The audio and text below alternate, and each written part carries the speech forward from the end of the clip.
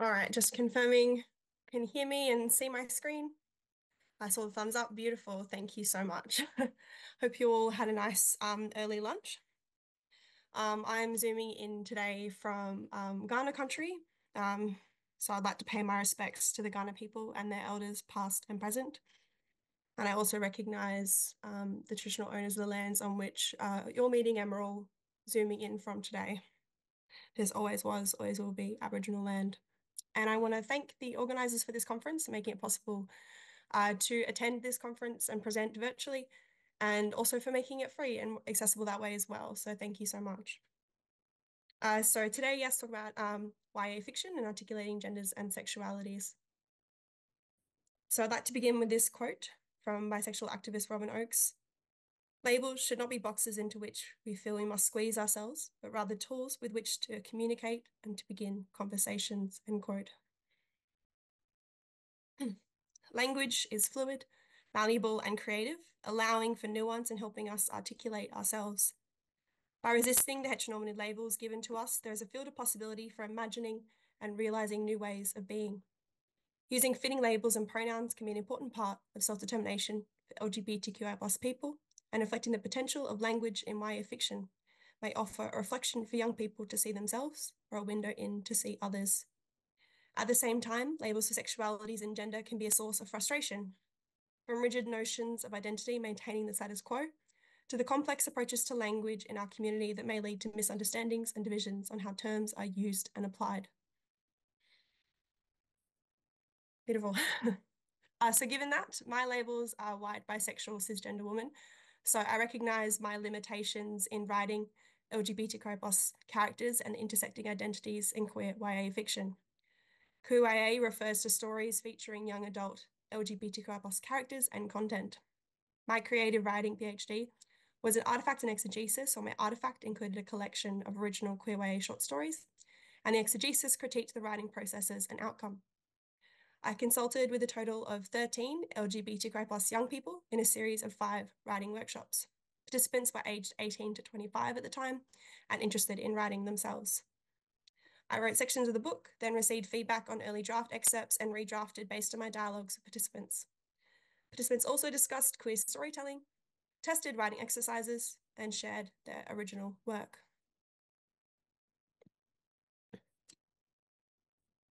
This presentation considers the challenges of language and labels used to describe LGBTQI plus identities and expressions through workshop dialogues and excerpts of the short stories. Firstly, I'll explore how language affects the friendship between characters Benji and Luke, including labels for gender expression and slurs. Then I reflect on approaches to non-gendered or gender-expansive pronouns in drafting stories. Participants share their thoughts about language and provide feedback on excerpts from the artifact shared. So in my artifact, friends Benji and Luke, who are both gay cisgender male characters, create a pride club at their school. Benji enjoys traditionally feminine things like makeup and romance books, while Luke distances himself from femininity. While Benji and when Benji and Luke argue over running the club, under the club, their different personalities, including their gender expression and relationship to pride, clash. A draft excerpt of the dialogue was shared in a workshop with participants. Um, on the screen here, we have a quote here from Michael, who shared how the character tension is present in society at large in how gay men are treated. He said, quote, I feel like there's this pressure that queer men often face to be normal in inverted commas guy. Like a lot of people will be like, oh yeah, I love gay guys so long as they're normal and I can have like a conversation with them. And it's like, that's literally all gay guys. You were just uncomfortable around feminine presenting, not even presenting feminine ones. Another participant, Ren, noted how this issue is being explored in other queer texts, signaling its potential importance to writers and readers of LGBTQI plus texts. She said, it reminded me of a couple scenes in Camp by L.C. Rosen, where it's like a similar thing of a sort of masc presenting gay boy, realizing he's kind of internalized his homophobia and he expects gay people to be a particular way.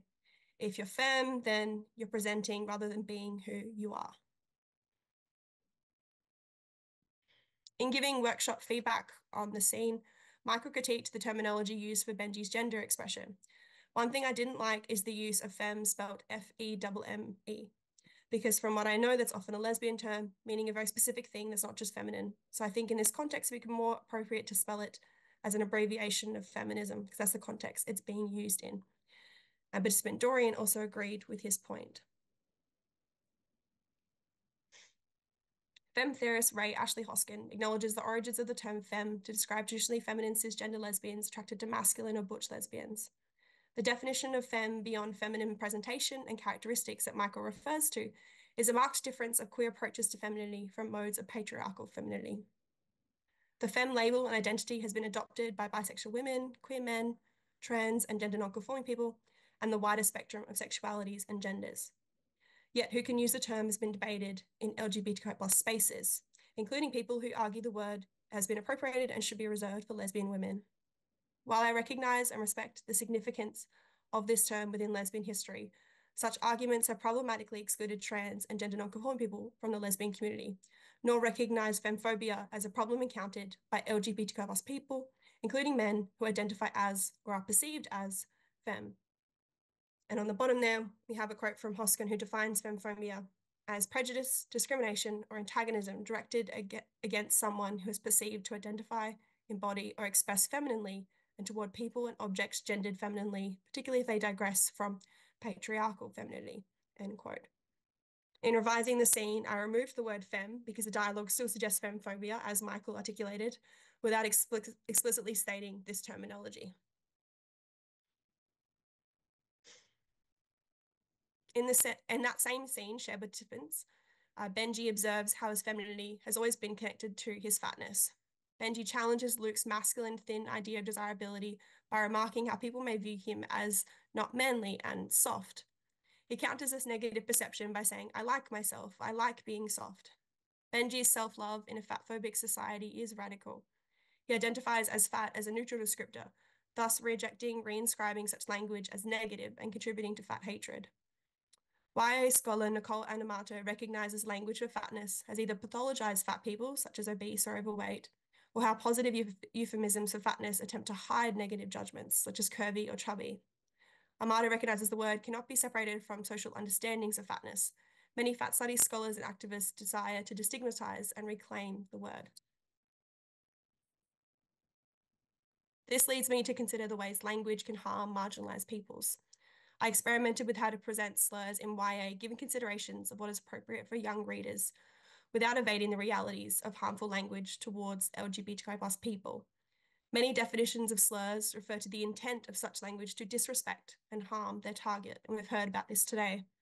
Yet this may be contextual, as examples of such speech appear in music, films, and literature, as well as educational and judicial settings. In Excitable Speech, A Politics of the Performative, Judith Butler challenges the notion the, quote, offensive effect of such words is fully contextual, end quote, whereby the words can simply be separated from the injurious power based on the circumstances or deployment by the speaker, nor is context relevant as existing power structures and its storage usage contributes to a capacity to harm.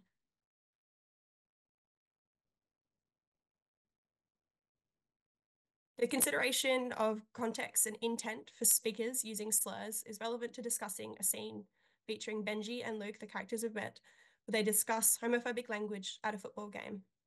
I wanted to avoid the binary of sport as inclusive, exclusive to LGBTQI plus people. So Luke, a football player in a local team himself, describes experiencing allyship from his teammates when they call out one of the players for being a homophobe towards him.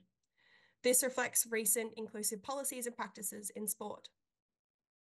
Now, in the scene, the two are at an SANFL game uh, that Luke attends with Benji and his football loving dad. His dad becomes agitated watching a player fumble the ball and exclaims a slur. There are some turned heads and one disapproving look, but nobody vocally opposes his comment. Luke's father, recognizing Luke's expression, tries to dismiss the comment, saying, Don't look so worried, I wouldn't say that to an actual gay person, and slaps Luke's back in camaraderie. Luke's father thinks using such language ex is excusable when it is not directed intentionally at the targeted group or individual or motivated by homophobia. This attitude fails to consider how the use of homophobic slurs may contribute to normalizing bigotry and discrimination towards LGBTQI plus people.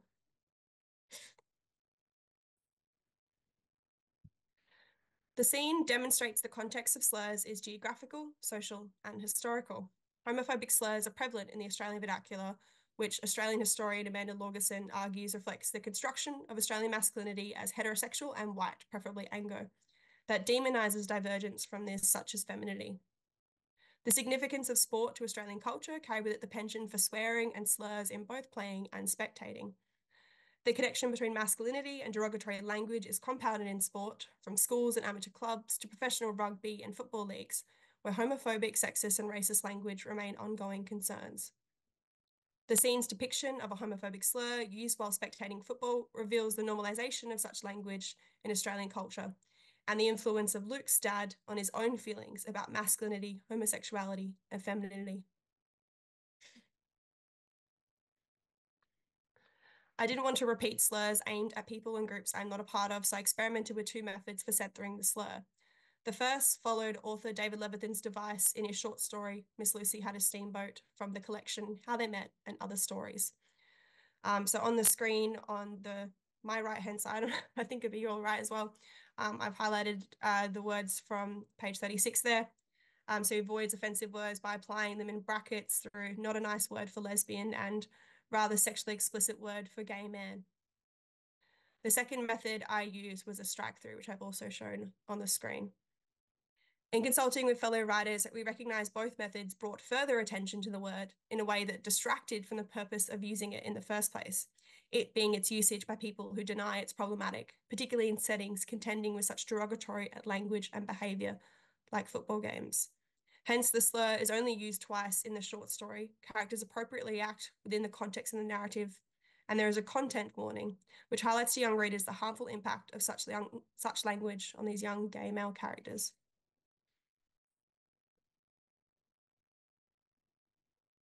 Um, another experiment was considering how to present uh, multiple pronouns for one character in fiction. I shared with participants an excerpt featuring a transmasculine character called Alex who uses he, they.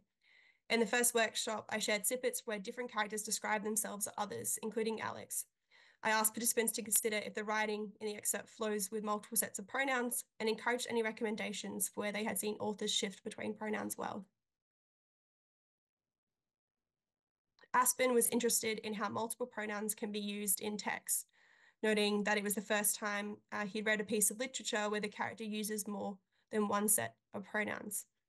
He continued about how he found following the writing, saying that it was just something they he wasn't used to seeing in a written form like that.